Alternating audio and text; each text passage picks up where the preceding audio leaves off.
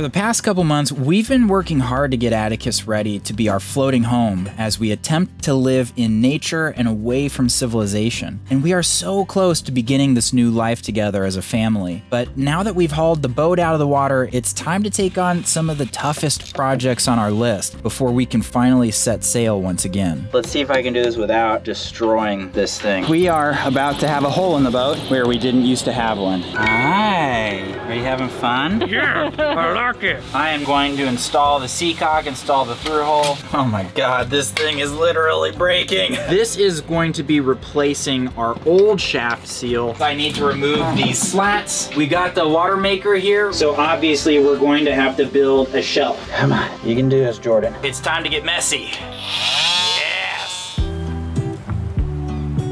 Okay, welcome to the boatyard. It's kind of funny, like boatyards, they're kind of nasty places, right? Like I can smell bottom paint dust in the air as we speak. I could also smell like maybe grease and fumes, right? Like it's kind of nasty, it's dirty, but there's a part of me that just loves boatyards. And maybe it's because I feel like I've spent about half of my life at this point in boatyards. It sucks to be in the yard, but in a way, it's liberating because it's an easier place to do boat projects. So I'm pumped to be here. So there's a couple of projects that really need to get done while we're on the hard. And the first one that I'm gonna tackle involves a leak that's going on at the shaft seal. It's not a big deal, there's not a lot of water coming out, but what it's doing is it's salt water and it's getting flung all over the engine bay and it's starting to corrode a lot of different components inside the engine bay, which is a problem. So I am going to be replacing that shaft seal and it's gonna be a little bit tricky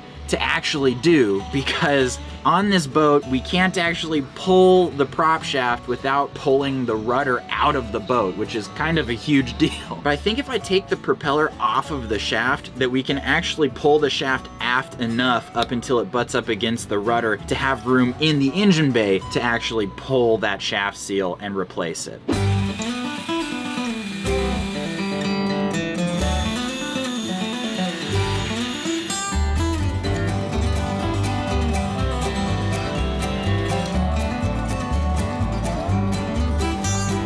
So you might remember from last time that it's really important that I note where the little dot on this housing lines up with the gears inside because that corresponds with a letter that's written on the gears. And so that's something that's important for reassembling that we line that up exactly the same way so that we end up with the correct pitch ultimately of the blades of the propeller.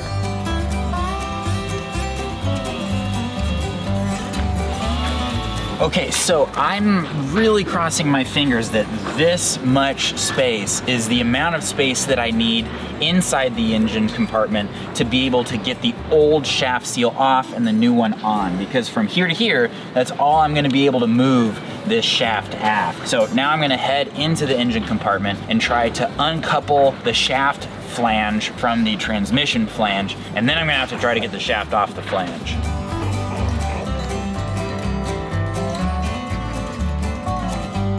I enjoy working in the engine compartment for multiple reasons, but the main thing is I get some real quality time with my knee. It's been a long time, knee. You and I, we've just been a little bit distant. You've been way down there, I've been way up here. All right, got my hammer, got my chisel. Let's see if I can do this without destroying this thing or denting the metal. I feel like I can hear people out there watching this being like, Jordan, don't do that. You're gonna scar the surface. It'll totally screw everything up. But I'm just gonna be really careful, I guess. All right, see, I told you. I told you it was gonna be fine.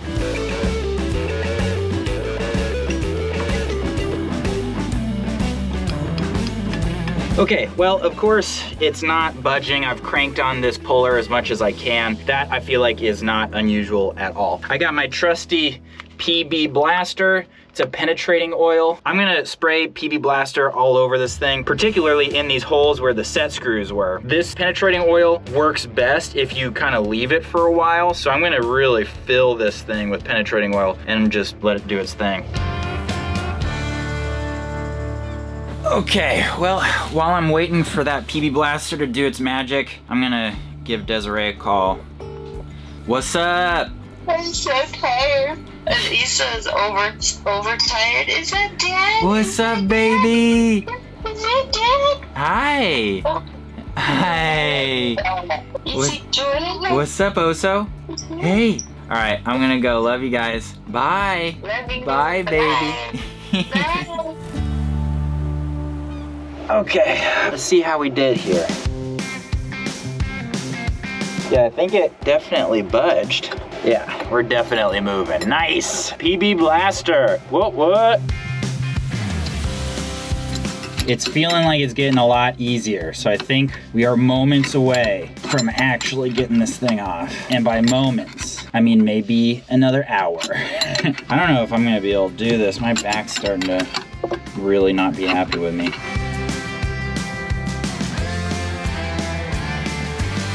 Oh man. Oh, okay. I'm gonna have to call it quits. My back is just killing me. End of day one, I'm a little behind schedule. I was hoping to have the old shaft seal completely off by today, so not quite, but until tomorrow.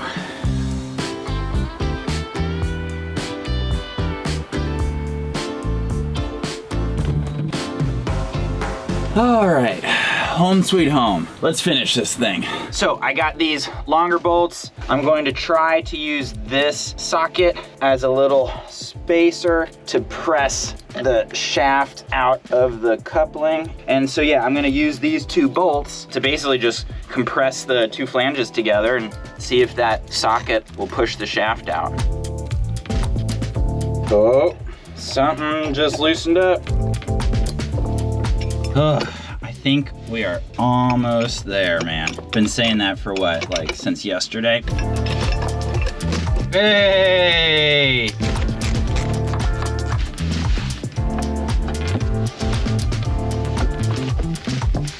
Okay, there you have it. So that is the shaft seal removed. Well, I got some bad news. I was able to figure out what was causing the leak and there seems to be some like lines of corrosion on the shaft. I don't know what that came from, what caused it. There's several of them at different positions. The point is that the corrosion's fairly deep, so I definitely can't sand it out. So ideally, the thing to do would be probably to just replace the shaft because if there's any important part of the next shaft seal that contacts any of those lines of corrosion, we're gonna have leaking again, right? Because it'll just scar whatever seals there are in that device. I'm not quite sure what I wanna do. I really want to avoid being in this yard any longer than we have to be because it's almost May. So we're getting into the really good sailing season in the Mediterranean. So I've got some thinking to do to figure out what the heck we're gonna do to deal with this situation.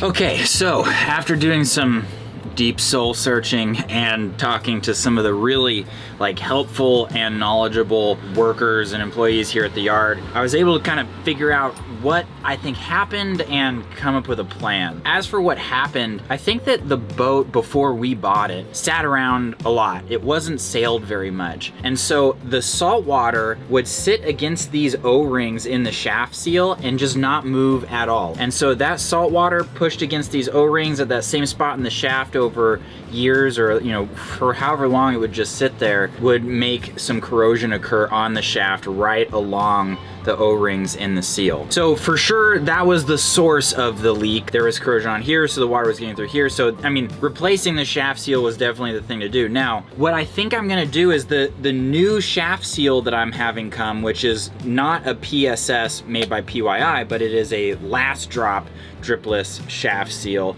It's a little bit of a different construction method and just design. And so the important part, the part that seals against the shaft is gonna be a little bit further forward than the PSS shaft seal. So what that means is that the important part that seals shouldn't be where those little imperfections in the shaft are. It should contact clean, good shaft. So I think that should be fine. That should work on its own, just period. As I had mentioned before, the ideal solution here would be to replace the shaft entirely, but I'm gonna wait to do that for about a year from now when we haul out next and I'm gonna pull the engine, replace all the insulation in the engine bay, and that's when we can pull the shaft and replace it. So this just needs to hold for another year. And so we're just going to clean up those little scars or bits of corrosion, and then we're actually going to fill it with Belzona, which is basically, I mean, they call it a chemical metal, it's just like a filler for metal, right? It's like JB Weld, I think, or something like that. So I'm going to head down there, clean up the shaft with some high grit sandpaper. I'm gonna scuff up and prep the corroded areas for this filler, and then I'm gonna apply this filler. Okay, so that's it. Now we just let that cure, and then tomorrow hope that it uh, filled it good and we'll sand it down.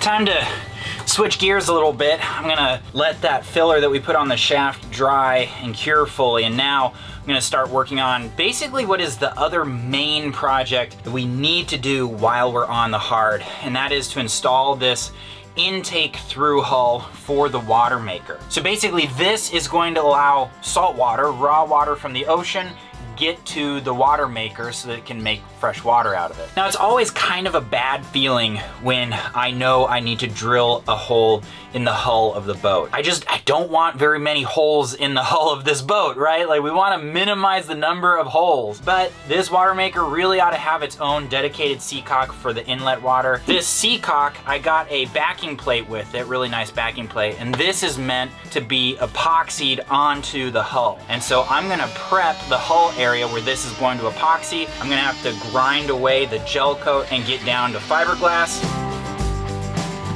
Okay, well, I've ran out of excuses. I've triple checked the measurements. I've just got to drill this hole through the hull. So I want this hole to be perpendicular to the shape of the hull. Now, there's a lot of imperfections in the shape of the hull on the inside, which is why ultimately I'm just gonna drill a quarter inch hole this way to ensure that it's in the right spot on the interior. And then I'm gonna go outside and drill from the outside with the hole saw.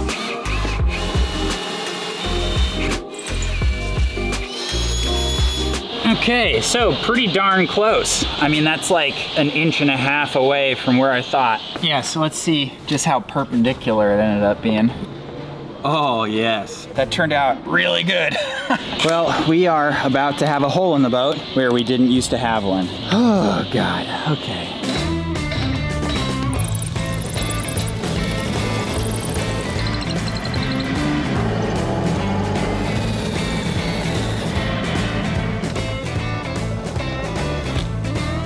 Wow, that is a very thick hull. That makes me feel good. An inch and a quarter of fiberglass here just forward of the keel. That is freaking strong. Sweet, that's gonna work. Okay, so for this next step, I kinda need two people. I need myself and one other person so that I can epoxy in the backing plate of the seacock against the hull and then have somebody down here thread the through hull up into it just to make sure that it's in exactly the right position. And so I'm bringing in the ringer. You ready, bud? Let's do it. I still cannot get over having a baby in a boatyard. All right, so now I've got to mix up some epoxy, wet this out. I'm gonna wet this base out, put it into position, and then Desiree will help me center it.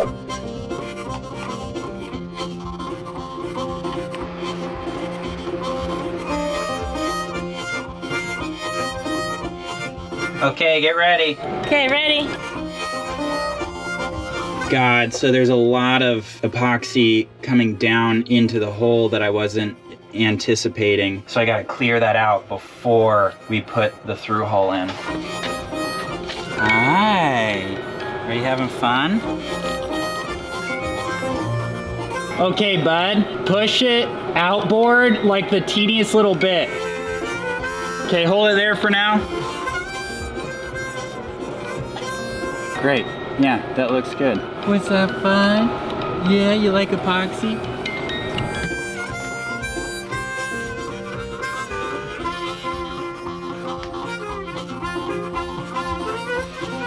Okay, we're in position. So just let that cure and uh, we should be good to do the rest of the installation. Yeah, so how do you feel about that?